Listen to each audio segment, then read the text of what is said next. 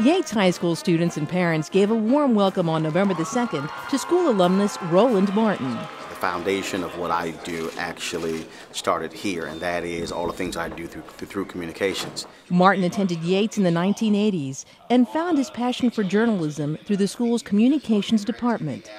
He is now a syndicated columnist, author, CNN contributor, and was named by Ebony Magazine as one of the most influential African Americans in the United States. I'm a 1987 graduate of Yates. I went through the School of Communications, uh, and that's that's been my passion since I was 14. And so I certainly want to see a very strong and vibrant uh, SOC program. Martin joined HISD Superintendent Terry Grier for a frank discussion on the future direction of the district and specifically Yates High School. You can tweet your question. I'll read your question while we're sitting here having a conversation.